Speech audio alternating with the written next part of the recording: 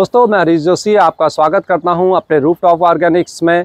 दोस्तों, हम समय समय पर आपको वेजिटेबल फ्लावर्स या दूसरे प्लांट्स की जानकारी देते रहते हैं। अगर आपको वीडियो अच्छी लगती हो तो आप लाइक अवश्य करा करें। वीडियो को लाइक के साथ साथ अपने दोस्तों को भी शेयर करा करें, जिससे कि उनको भी इन्फॉर्मेशन मिले कुछ, और वो भी कुछ प्रेरित हों अपने वातावरण को अच्छा बनाने के लिए, अपने घर में अच्छी ऑर्गेनिक सब्ज़ियाँ लगाने के लिए। तो ऐसे ही इजी प्लांट के आज इन्फॉर्मेशन लेके पास, आपके पास आए हैं, जो है बैगन। दोस्तों, हम लोग सब बैगन लगाते हैं, लेकिन कई बार हमें रिज़ल्ट नहीं मिलते हैं। बस छोटी सी गलतियाँ हम कर बैठते हैं। अगर आप अच्छी तरह से थोड़ा सा इसका देखभाल करेंगे, सबसे इजी ग्रोइंग है, आप ज़रूर ट्राई कीजिए। देखिए व्हाइट बैगन हमारे कितने अच्छे लग रहे हैं। आप देख रहे हैं, झुंड के अंदर आते हैं और इसकी सब्ज़ी भी बहुत टेस्टी होती है और आप इसको ईजिली लगा सकते हैं। इस प्रकार के दूसरे वाले बैगन जो हैं, ये देखिए, आपको नंबर ऑफ़ अभी हमने इसमें एक हार्वेस्टिंग कर चुके हैं तो इसमें लगातार आपकी कंटिन्यूस ये सब्ज़ियाँ आपकी आती रहती हैं। और दोस्तों, अगर इसके अलावा अगर आप चाहें तो आप गोल बैगन भी लगा सकते हैं। ये हमारे भरते वाले बैगन हैं। आप देख, ये देख रहे हैं, देखिए दोस्तों, टूट भी गया ये, इस प्रकार से। और ये देखिए, सामने देखिए, कितना अच्छा साइज़ इसका आ रखा है। और मैं दिखाऊँ आपको दोस्तों, देखिए, पूरी डाल आप, हमारी ये पूरी लटक रही है। और ऊपर देखिए, सामने, ये देखिए, और उधर दूर आप देख पा रहे हैं तो वहाँ भी हमारे बैगन लगे हुए हैं। और इसमें भी लगातार कंटिन्यूसली बैगन हमारे दोस्तों आ रहे हैं। तो इस प्रकार की जब हमारे को रिजल्ट्स मिलते हैं दोस्तों तो हमारा मन करता है कि हम अपनी छत में कुछ ना कुछ करते रहें और ऑर्गेनिक रूप में आपको सब्ज़ियाँ खाने को मिल जाती हैं। तो आज मैं कंप्लीट इन्फॉर्मेशन आपको देने जा रहा हूँ बैगन की। इस ये सही समय है, अक्टूबर का महीना है, आप बैगन के बीज लाइए, अच्छे बीज लाइए और आप उन बीजों में से थोड़े से बीज निकालते हुए किसी पॉट के अंदर मिट्टी और वर्मी कंपोस्ट और थोड़ा सा कोकोपीट लेते हुए तीनों को बराबर रेशियो बनाइए और कोई किसी भी छोटे से पॉट के अंदर इनके बीज को ग्रो कर दें ईजिली ग्रो हो जाएँगे। और जब उस थोड़ा से बड़े हो जाएँ, उनमें तीन चार पत्तियाँ आ जाएँ तो आप थोड़े से बड़े कंटेनर के अंदर, यानी कि 12 इंच से ज़्यादा 14 इंच, या जो आपके पास इस प्रकार की टैंकियाँ हैं, या कुछ ग्रो बैग हैं तो उसके अंदर इसको लगाएँगे तो आपको इसके रिज़ल्ट बहुत अच्छे मिलेंगे। जो भी बैगन आपको पसंद है, इसमें ग्रीन कलर का भी बैगन आता है अभी हमारे पास वो अवेलेबल नहीं है, क्योंकि ख़राब हो चुका है, हमारा दोबारा लगाएँगे इस सीज़न में हम उसको। आप किसी भी प्रकार का बैगन जो आपको अच्छा लगता है, आप लगाइए।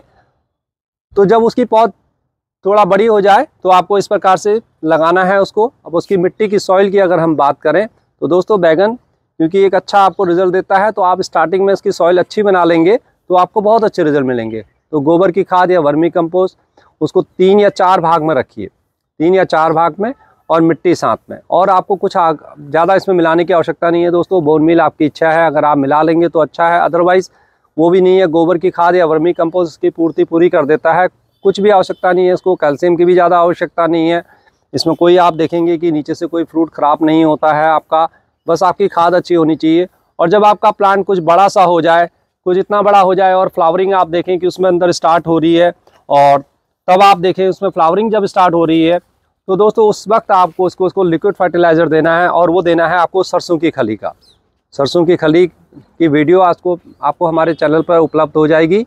तो उस उस खाद का आप इसमें प्रयोग करें और साथ में बीच बीच में इसमें इस्तेमाल करते रहें गोबर के उपले या वर्मी कंपोस्ट, उसकी टी इसको पिलाते रहिए। हर 10 से 15 दिन बाद इस प्रकार से आप इसको देंगे।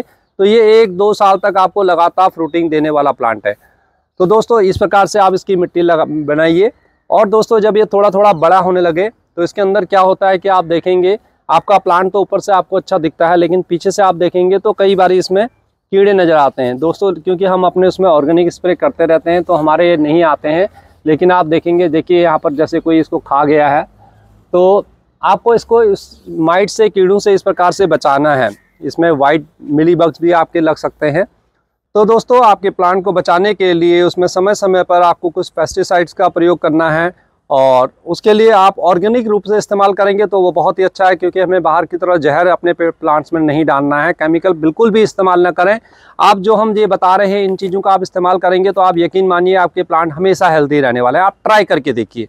तो ये मेरे हाथ में आप जो देख रहे हैं, ये है हमारा तंबाकू। तंबाकू की इस प्रकार से पिल्ली अगर आपको मिल जाए या तंबाकू छोटे छोटे भी आपको मिल जाएँगे जो आपको ये जो पनवाड़ी होते हैं, जहाँ सिगरेट, बीड़ी वगैरह मिलते हैं, उनके पास इजीली अवेलेबल हो जाएगी। या इस प्रकार की जो पिंडली हमने अपने गाँव से मंगाई हुई थी तो इसको रखा हुआ है, एक साल तक हमारे इस्तेमाल होने वाली है। इसमें से आपने पाँच से दस ग्राम लेना है, ज़्यादा नहीं लेना है थोड़ा सा लेना है, और उसको अपने एक कंटेनर के अंदर रात को इस प्रकार से भिगा लेना है। तो इस प्रकार से कुछ ये गोल तैयार हो जाएगा, इसको छान लें। उसके पश्चात इसमें थोड़ा सा आप नीम ऑयल मिला दीजिए और इसको पूरा इस्तेमाल नहीं करना दोस्तों। इसमें से आपने 20 से 50 एम इस्तेमाल करना है, क्योंकि बहुत हैवी होता है, बहुत खुशबू वाला होता है ये। आपके प्लांट को अगर आप डाल भी देंगे, कोई नुकसान नहीं होगा प्लांट नहीं जलेगा।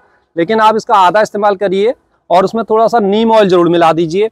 और जब नीम ऑयल और इसका इस्तेमाल आप करेंगे, क्योंकि इसकी स्मेल बहुत रहती है तो कीट उसको पसंद नहीं करते हैं, वो आएँगे ही नहीं। और जो होंगे भी नीम ऑयल के साथ, इसके साथ जब आप मिक्स करके इसको मिलाएँगे तो वो सारे प्लांट आपके मर जाते हैं। और अगर आपके पास ज़्यादा अटैक हो गया है तो आप उसमें एक काम और करिए, ये जो घोल है, इसके अंदर थोड़ा सा लहसुन और मिर्ची का उसको आपको मिक्सी में उसको पीसते हुए थोड़े से और उसमें उसमें डालें। आप अपने इस घोल के अंदर डाल दें तो ये पेस्टिसाइड और भी आपका स्ट्रांग हो जाएगा तो आपको उसको और भी अच्छे रिजल्ट्स आएँगे। तो इस प्रकार से आप अगर अपने प्लांट्स को बचा पाएँगे और हाँ दोस्तों, उसका स्प्रे करना है आपको शाम के वक्त। इस समय मॉर्निंग है मॉर्निंग में कभी भी स्प्रे ना करें। तो आप रात को आप इस पर स्प्रे करेंगे तो उससे इसके प्लांट जो है उसको पूरा ऑब्ज़र्व कर लेता है और ध्यान रखें कि आपको ऊपर के बजाय ज़्यादातर नीचे से इसमें ज़्यादा अटैक होता है। तो आपको अच्छी तरह से आगे पीछे पूरे प्लांट को आपने करना है। तो ये इस चीज़ को आप अगर बेस्ट रहेगा, अगर आप हर 10 से 15 15 दिन के अंदर अगर आप इसको रिपीट करते रहते हैं तो आप देखेंगे कि आपका प्लांट हमेशा हेल्दी रहने वाला है। किसी भी प्रकार के कोई और आपको हैवी इंसेक्टिसाइड या पेस्टिसाइड की आवश्यकता नहीं पड़ेगी।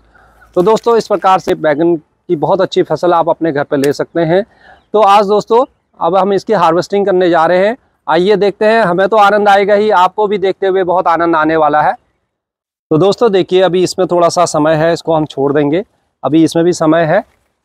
और बहुत बड़ा साइज़ क्योंकि हमारे गार्डन में है, इनका नहीं होने वाला। कई बार अच्छा हो भी जाता है थोड़ा सा और मौसम इसका अनुकूल होगा तो इनका साइज़ ज़रूर बढ़ेगा हमारे पास। दोस्तों, जब हम इनकी हार्वेस्टिंग करते हैं, एक बहुत आनंद सा हमारे अंदर आता है। और ये देखिए, हमारे हेल्थ के लिए भी बहुत अच्छा होता है, बहुत अच्छा महसूस करते हैं।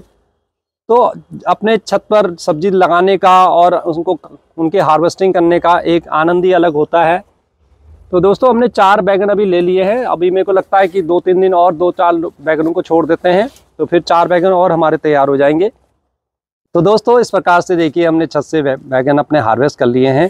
ये तो आप भी थोड़ा सा ट्राई करिए। मैं आपसे यही बैगन नहीं कह रहा हूँ। जो भी बैगन आपको पसंद है, उनको लगा के देखिए। बहुत ईजी ग्रोइंग है और जो खाद हमने बताई है, उसका इस्तेमाल करेंगे तो आपको भी ऐसे ही रिज़ल्ट मिलेंगे।